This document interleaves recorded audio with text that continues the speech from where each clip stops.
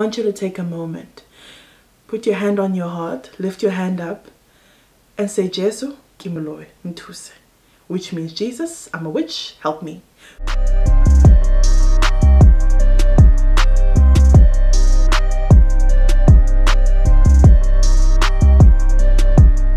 Hi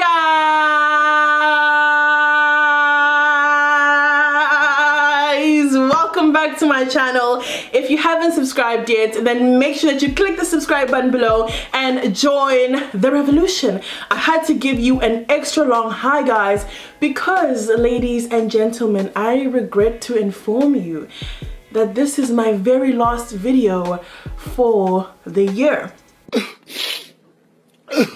I will be back next year and next year marks three years on YouTube which is crazy and I just want to take this time to really thank you guys for all your love, your support, your subscriptions, your comments, your sharing.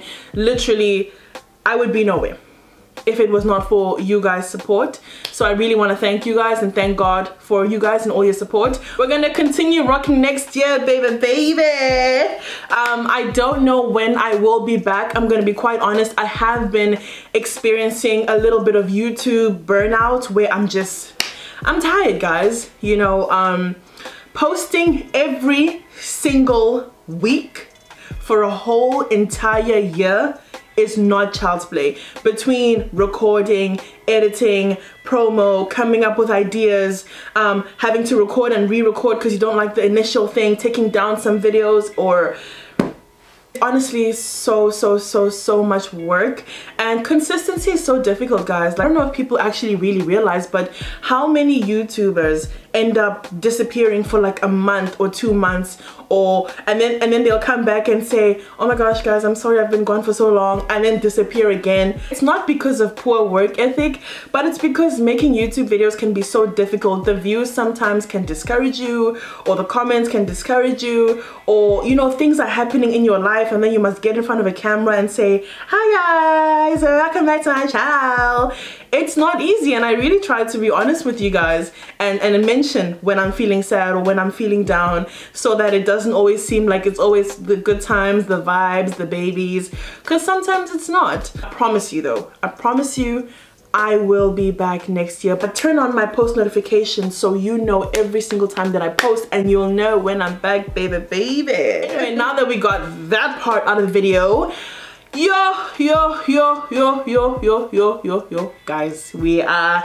at the end of 2020 so today's video is going to be about things that i have learned or that has been reinforced to me in 2020 a year that felt like it would never end.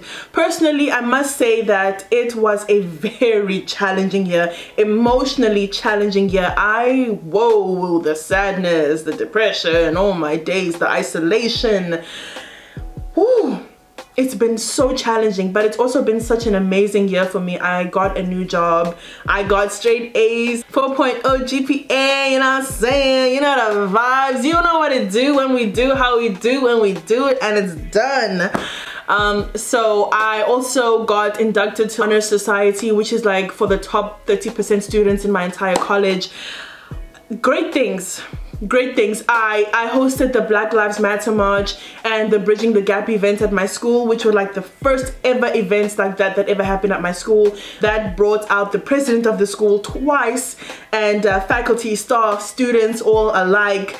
God has been amazing to me this year. Like his grace has just been too much. Anyway, and the reason why I'm mentioning all this stuff is first of all because I don't want to just talk about bad stuff all the time, but also good stuff. But also because it leads me to my first point, which is what is yours is yours.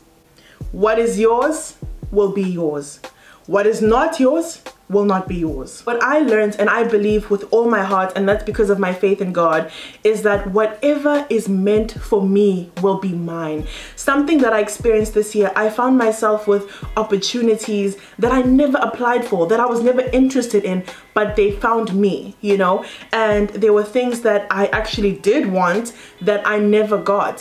What I've noticed is that from the moment I got here, probably even before then, God has been positioning me in order to get to this place where I am now. So the point I'm trying to make is what is yours will be yours and God has already started positioning you to be in the place where you need to be to receive. When God places you somewhere, it will show that he put you there and no one can remove you because when God says yes, no one can say no. Lamentation 3.37, who is he that speaks and it come to pass when God has not commanded it? And what you need to do is number one, pray that you have the grace to do what needs to be done when you're put in that position because to whom much is given much is required. I don't know if you guys saw my week in my life vlogs. There was two of them. If you haven't go check it out.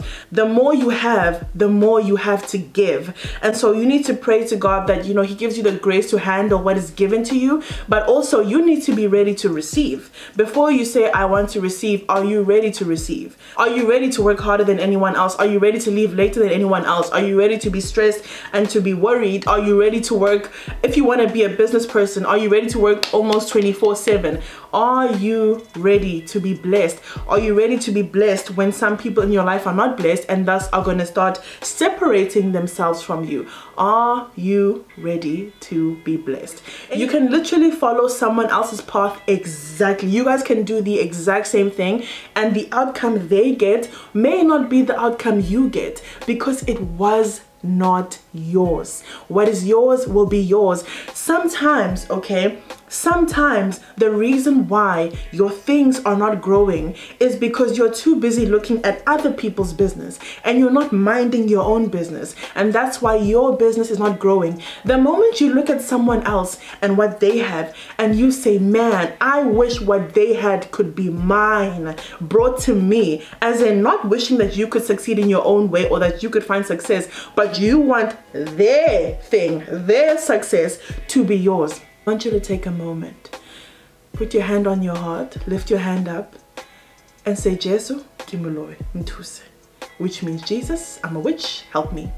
Hey! Because witchcraft starts in the heart. It doesn't start with incantations. It starts with you wishing evil upon people. I'm not a witch. I rebuke that in Jesus' name. Amen. This leads me to my very next point, which is, you know, sometimes when things are going bad, people are like, yo, guys, it's the witches from my village. It's the witches from my father's side. It's the witches from my mother's side. It's the witches, it's the witches, it's the witches.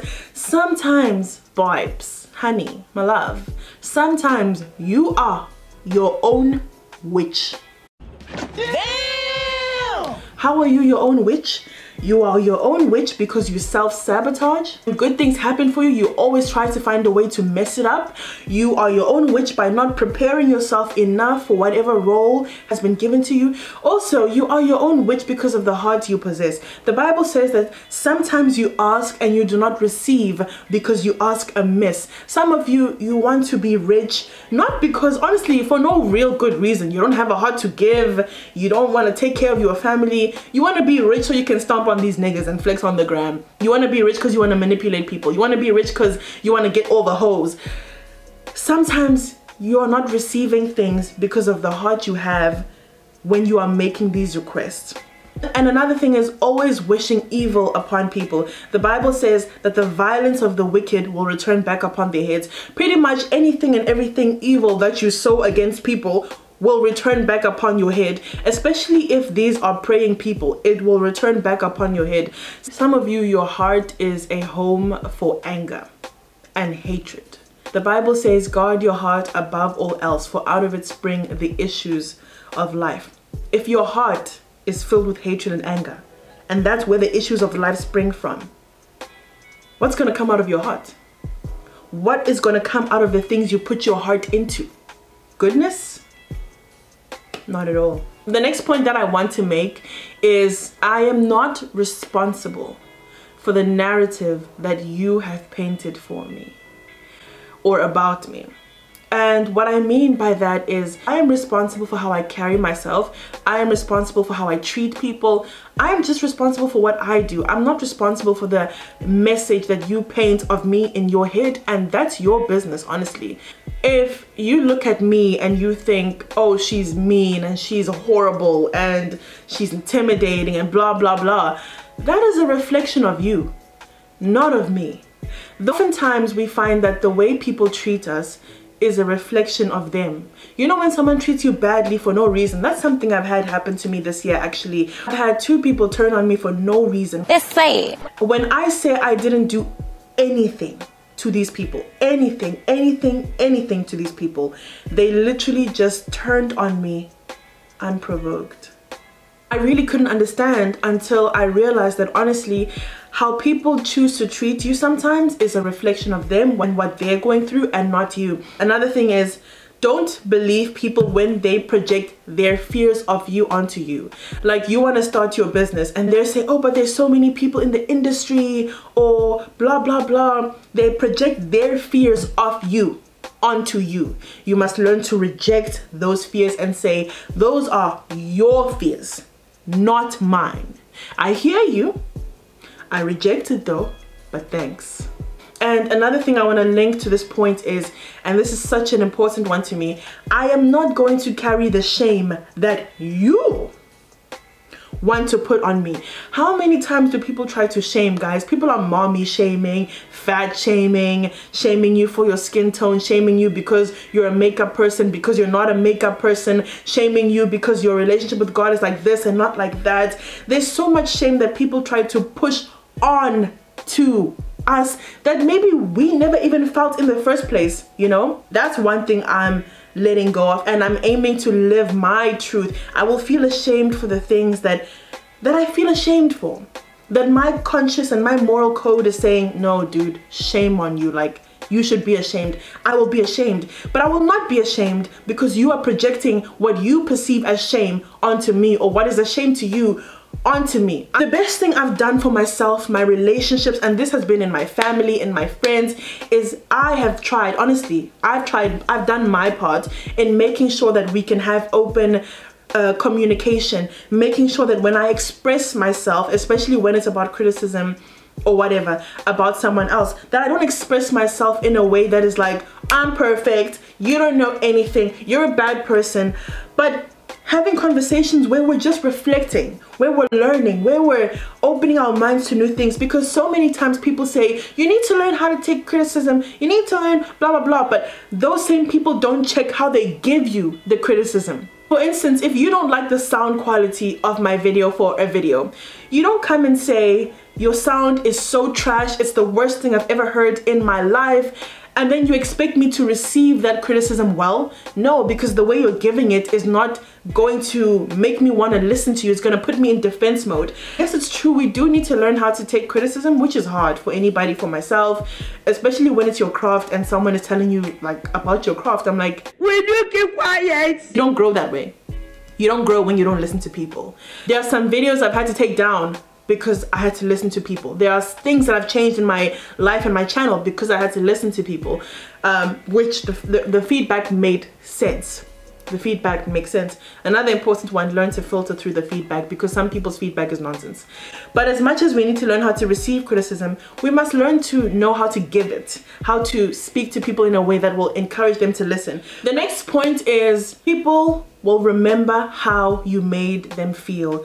That's why words are so powerful because they remember how you made them feel when you said those words, the tone, the look on your face. Treat people how you want to be treated. Help people, guys, please. I can't stress this enough. If you are blessed, man, help people. The opportunity to help is the opportunity to receive. Blessed is the hand that gives than the one that receives. To help people is to help yourself. Not that you must give because you always want something in return, but when you give, guys, God really does pay you back. And you never know that someone who you give to today, hey, hey, years later, they will be the thing that you need and they'll remember how you made them feel by that small gesture, by giving them your time or money or food people will remember how you made them feel and if you have any beef with someone if you have made someone feel horribly if you spoke to someone horribly this year i definitely encourage you to put your pride aside an important lesson my mom taught me is if someone says that you've hurt them don't fight them meaning if i smack you and you are like, ow, oh my gosh, that really hurts. And you cry and I'm like, ah, dude, don't be silly. Like it was a small tap it's not my body that felt the tap. It's it's I, I, it's not me. And so if someone tells you that you have hurt me, even though you don't seem to understand how something like that could hurt, you hurt them. Make it right. Apologize. Believe people if they say you have hurt them. The last point that I want to talk about is the most important point, and that is, is not by might, it is not by strength, it is not by skill, it is not by self-preservation, it is by the grace of God. People have died this year. COVID has taken millions of lives all over the world. If you are watching this video, you are not alive because you are so great at being in quarantine or social distancing or because your immune system is popping. It is by the grace of God. Let us remember to give God the glory and not think that we are alive because we're all that. Because there's someone who is smarter than you, holier than you, richer than you, better than you, more good looking, more everything than you, who's dead. And death is final. You can't negotiate with anyone. It's that's it. They're dead. If you are alive, I beg you, give God the glory. Praise Him thank him. To God be the glory. And I've learned to praise him through it all. Through the pain, the hurt, the anger, the depression, the sadness, the confusion. Praise him through it all. Life is not always fair, but God is always faithful. Be grateful. Use your life, use your time because other people don't have that luxury anymore that's it for today guys. I hope you liked this video. Don't forget to comment like share and subscribe. And i will be back with more videos. Any video suggestions comment down below and i will definitely try and make them happen for you. Peace and love guys